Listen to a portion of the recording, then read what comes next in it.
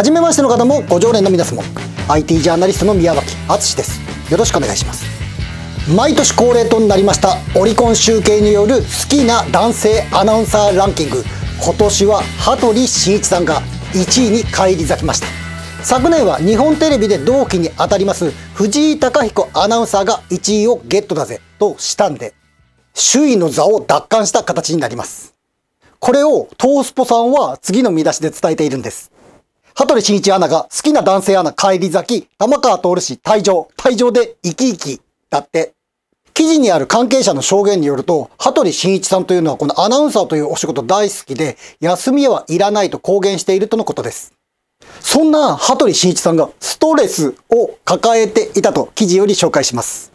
近年はコメンテーター玉川氏が暴走、放送中の歯に絹着せぬコメントでたびたび炎上、たびたび炎上するだけでなく、番組放送前の打ち合わせでも羽鳥アナを差し置いて、玉川徹のモーニングショーばりにリードすることもあった。次第に猛獣を扱いきれない場面が増え、僕のストレスの要因は玉川さんだけ、などと思わず弱音をこぼす機会も増えていた。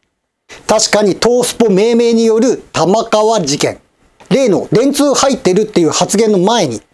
安倍元総理の国葬儀って、菅義偉前総理大臣が友人代表として追悼の言葉を捧げました。これに政治的意図を匂わせない演出だと、いわばケチ、ケチをつけたのか、テレビ朝日の名物ディレクターであらせられます玉川徹さんだったんです。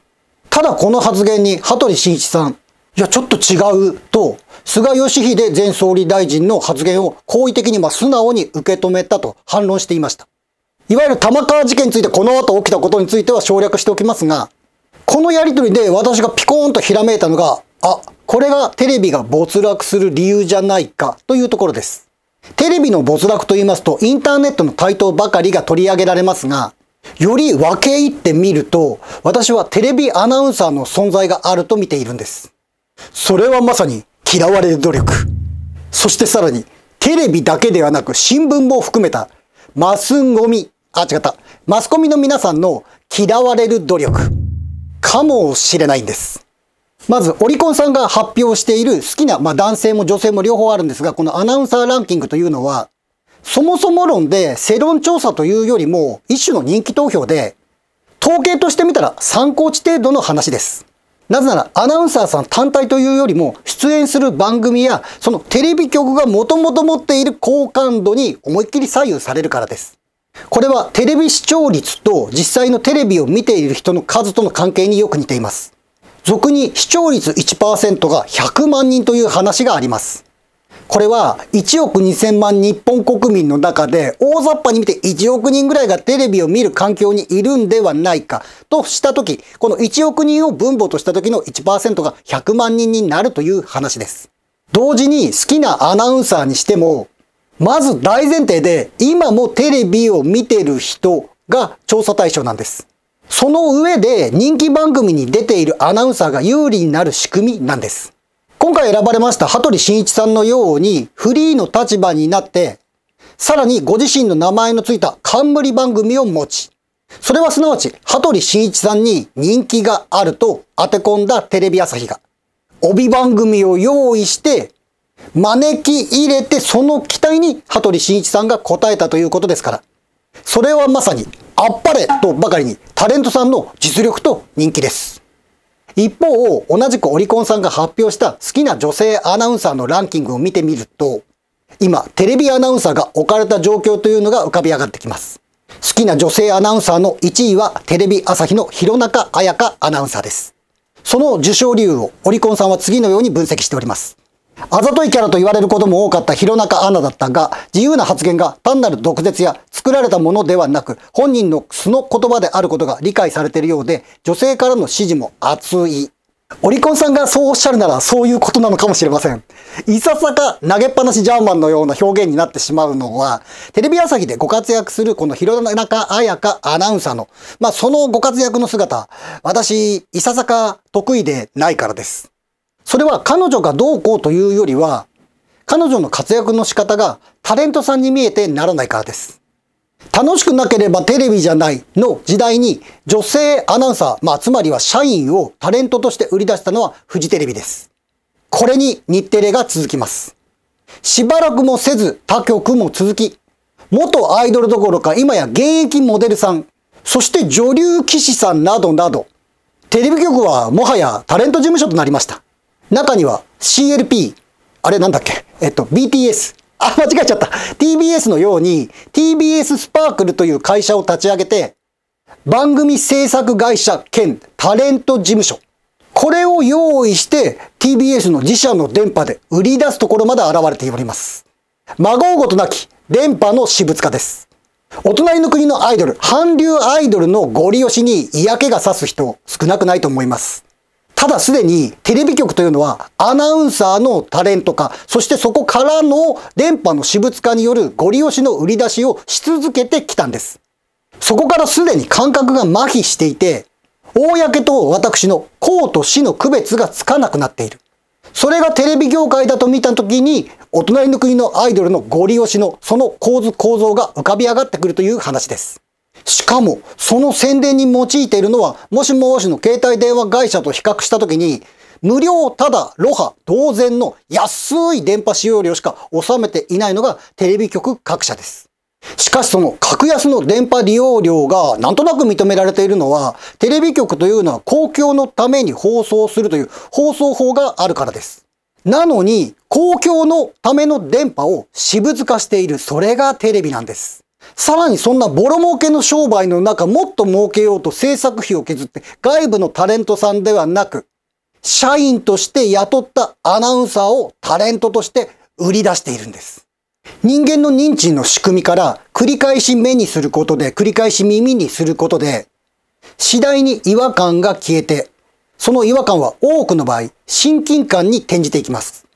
テレビ CM をヘビーローテーションで流す理由も同じです。よって、韓流ブームなるものがゴリ押しで作られたのも以下同文です。これをテレビ局社員でやってんのがテレビアナウンサーだということです。よってテレビ局が売り出したい社員をご利用ししてねじ込むことで認知度が上がり、それを人気とすり替えるのはたやすいことです。反対に、かつてフジテレビの絶対的なエースと言われたカトパンこと加藤彩子さん。フリーの立場になってもね、ご活躍されてたのかなと思ったら、今年の9月末をもって、フジテレビの夕方のニュース番組、イットをご卒業なされ、週刊誌は、一部週刊誌は、事実上の引退と報じています。もちろん、テレビ局内で生き残っていくのも、これはなかなか大変なことかなと思われるのが、かつてフジテレビの人気アナウンサーだった川端健二さん。現在、フジテレビの役員待遇ながら、秘書室、秘書室におります。とはいえ、いずれも社内人事です。入社試験に合格し、社内人事の果てにそこにいる仕事です。そんな社内人事の果てにタレントとして売り出されることも、まあ、社内人事なんでしょうがないっちゃしょうがないんですが、一方で、今、日本社会を、あ、世界を上から目線で叱りつけるテレビ局社員のアナウンサー、増えちゃっています。オリコンの好きな男性アナウンサーランキングで昨年ランクインし、今年順位を一つ上げた TBS の夕方のニュース風情報バラエティ番組、ダイブスターあ、違った。えっと、内容そんな感じですけど、番組名は N スタ。その司会を務める TBS の井上隆弘アナウンサー。彼はテレビ嫌いを公言してはばかりません。そんな大嫌いなテレビに出演し、結構結構なお給金をいただき、新型コロコロニュータイプでは、ステイホームだ、移動自粛だ、2歳のお子ちゃまも家庭内でマスクしていましたとばかりに、上から目線で社会を叱りつけ、今は壺、あ、じゃなかった。旧統一教会の吊るし上げに加担してるのかなというコメントを繰り返しております。他にもテレビ朝日の事例になりますが、ロシアによるウクライナへの侵略のニュース原稿を読み上げていた女性アナウンサーがシクシクと本番中に、オンエア中に泣き出しちゃいました。もはやテレビはやりたい放題です。そしてそれはテレビだけではなく、マスコミ全般に及びます。発行部数は未だに首位の読売新聞は今年の12月8日、一面コラム編集手帳にて、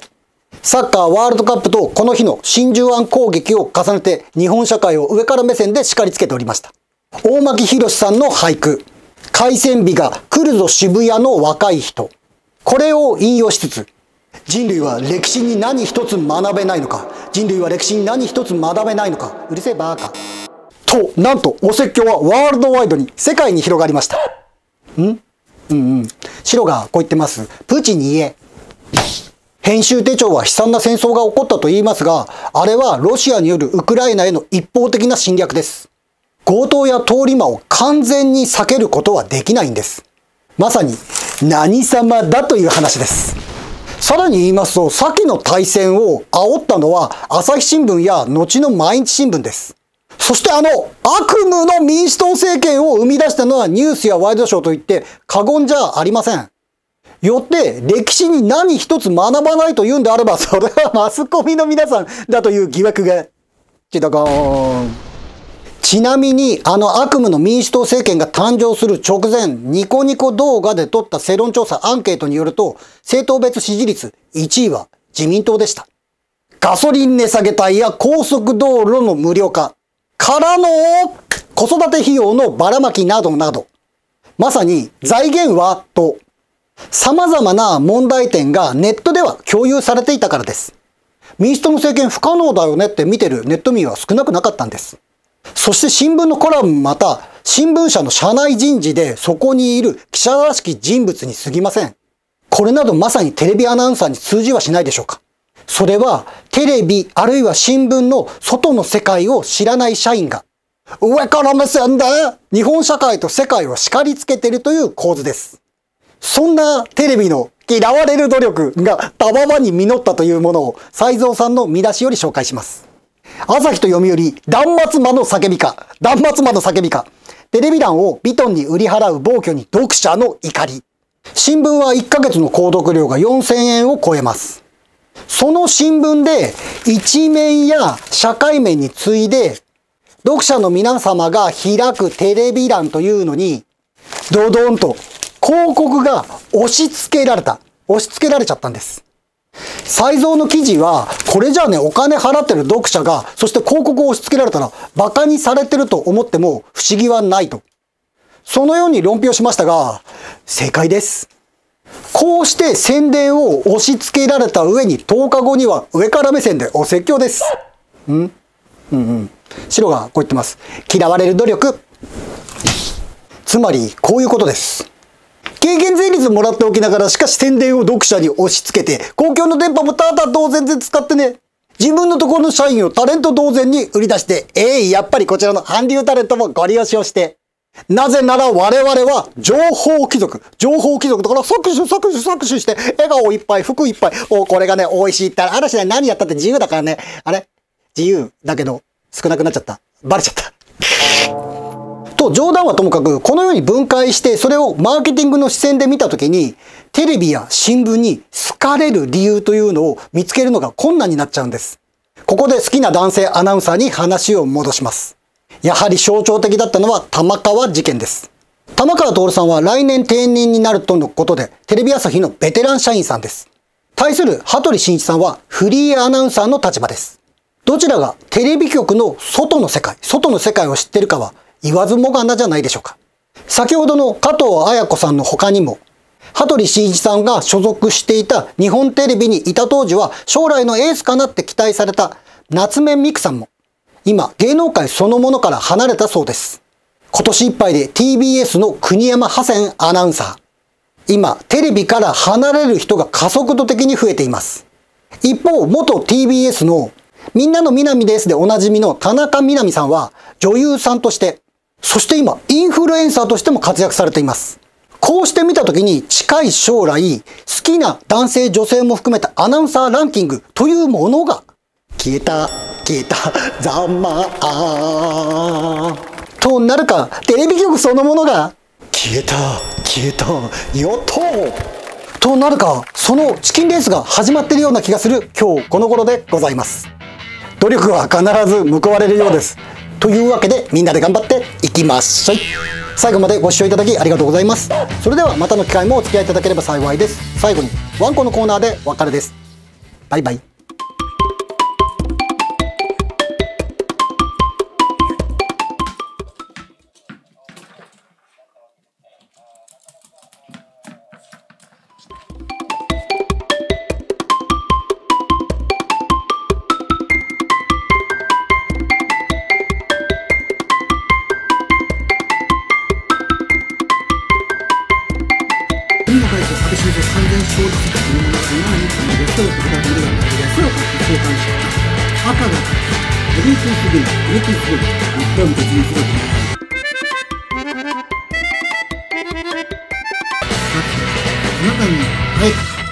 番組に最後の最後までお付き合いいただいて皆さん突然ですがじゃんけんタイムみやちゃんじゃんけんじゃんけんグー。私がグーなのでパーを出したあなた。はいお祝いのハイタッチ。おめでとうございます。私と同じグーを出したあなた。着替えますね。一緒にグータッチ。そしてチョキを出したあなた。チョキタッチもありませんがいつも心は V サイン。それでは本当のバイバイ。